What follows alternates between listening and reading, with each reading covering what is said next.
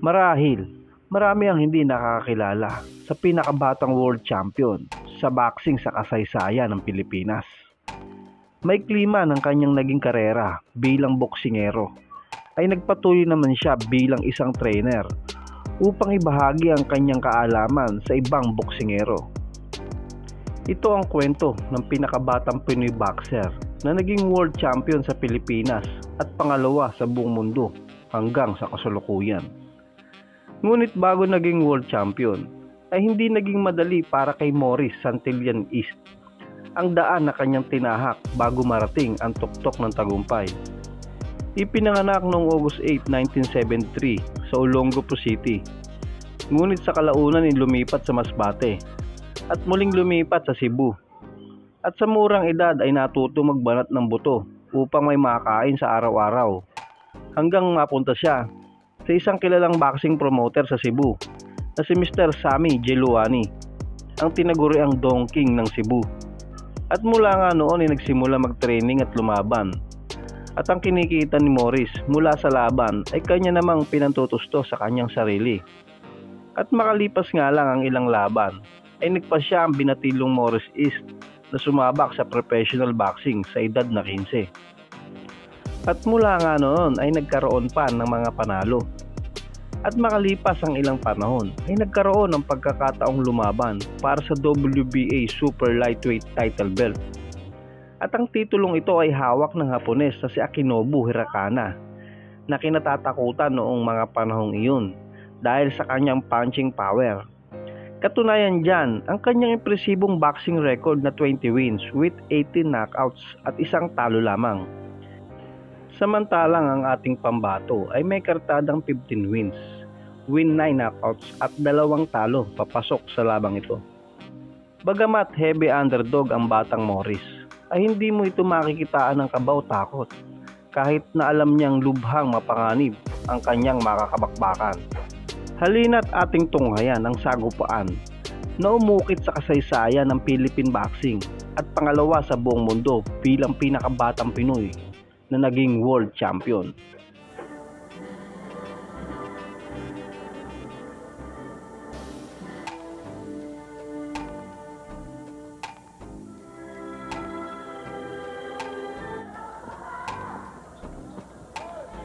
Jun 白のトランクスがチャレンジャーのイーストそして赤のですけども、まあ、公開練習よりですね、いや硬さが目立ちますね。そうですかえースピードがちょっと欠けてますね。今挑戦者がワンツーを先ほど見せました、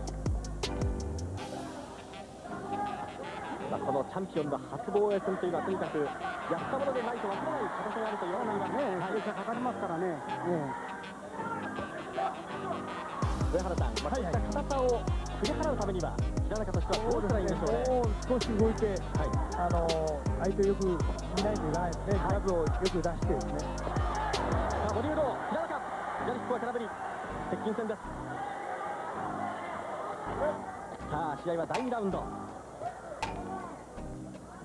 チャンピオン平中が28歳一方でイーストがまだ平中この前半のしつこくはここで打っていいですかね。動きが止まっちゃいますからね。はいえーいいんじゃないですか。作戦としては左ですね。これは浅いパンチでしたただいきなり打っていくとハラハラしますよね。えーそうですねノーガードでいきますから。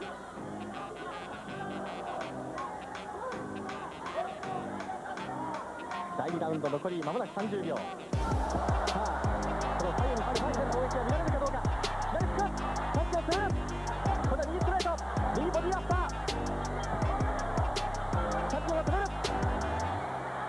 ここで第2ラウン出た時には決まっちゃうと思うんです。ええ。ええ。左左ボデブローでもいわゆる右でもね、あの顔面でも決まると思いますよ。ド、ええ。さあイーストもパンチを返す。上原さんそのパンチのキレという反側の都合によりまして延期という事態がありましてようやく迎えたチャンスをメキシコでものにしました。そして今日この初防衛戦を迎えている平中画面の右側です左右にしてですね、こうなんとか奈良からの奈良からの攻撃ですから、ね、つかみどころのないようなね、お返しのパンチ食いますから、えええここですから相手の動きもスピードもだんだんだんだん効いて鈍ってきますからね、はい。その辺が下がったところその上に返せばいいですからね。そうですねまあ、平中はもちろんチャンピオンではノックアウトを狙うけれども自分は12ラウンド戦うつもりで戦っていくとこのように話していました。さあマッコウスを吐き出しそうになったイースト。平中前に出ますその平中の顔面に細かいパンチイーストしかしイーストのパンチは相模原のパンチになっています上原さんはいおっと左アッパー当たりましたねさあチャンピオン一気に交渉をかけるかまだ左すぐ小さい方でねはいさあ攻める平中攻める試合は第4ラウンド平下空振り右アッパーロープを手にしている挑戦者イースト平中ボディアッパーダブルもう一発さあ攻める平中のボクシングになってきました。こちらの燃える太陽平中今度は左ショートストレート右アッパーさあイーストへのダメージはどうですか？ダメージはありますよ。はいどうですか？右フック左フックまああのボディも効いてますもん左フック左フック顎も効いてますよ。ボディ攻撃が効いてきた。第4ラウンド残り15秒。この辺り完全にチャンピオンのペース日本武道館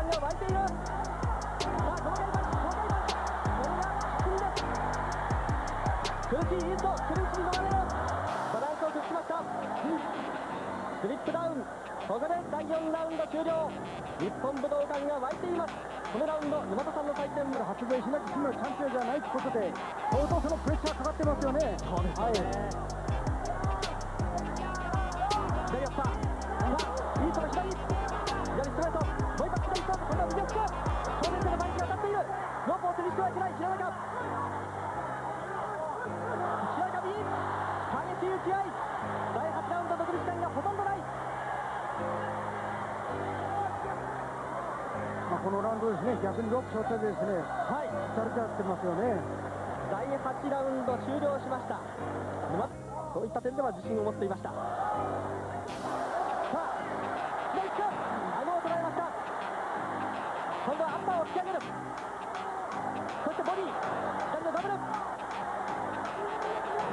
もね、自分の次のパンチをですね、フリーヒットさせてるんですけどね、まあ、自分、あの、タフな野郎だなっていうことを思ってますよ。そうですよね。第9ラウンド終了しましたこの辺りが裸のチャレンジャー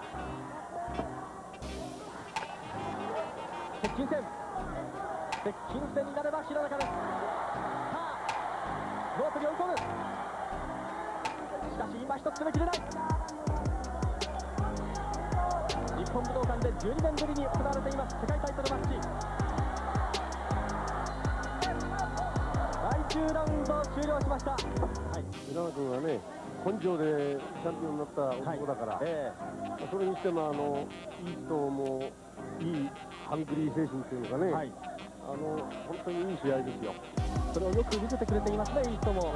両方ともね、はい。本当に視力を作って戦ってるから気持ちがいい、はい。見てて。ええまあ、菅原さん、あの平中選手の場合には病気ですとか、あるいはいろいろなアクシデントを乗り越えましてね、ここまで来まして、チャンピオンという座をつかみました。やはりこのいろいろな世界でも、そういう苦労を積んできた人というのは、花開く時があるんでしょうね。うん、あのそれはまあそればっかりではないんだけど、はいあの俺はそういう選手が好きだし、はいやはりそういったところもボクシングの魅力の一つそうだねといいますか、そうだね。はい、沼田さんもね、うなずいていらっしゃいました。そうですよね。え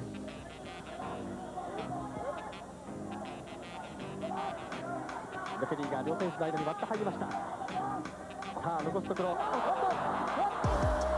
とチャンピオンダウンチャンピオンダウンほんの一瞬でした左をもらったさあ、カウントが入るカウントが入る立ち上がってはいる立ち上がってはいるさあ、残りがまだ1分以上あるが試合を止めた Dahil sa panalong ito, tinangha si Morris East na bagong WBA Super Lightweight Champion at naging pinakabatang World Champion sa Pilipinas sa edad na 19 years old, 1 month and 1 day.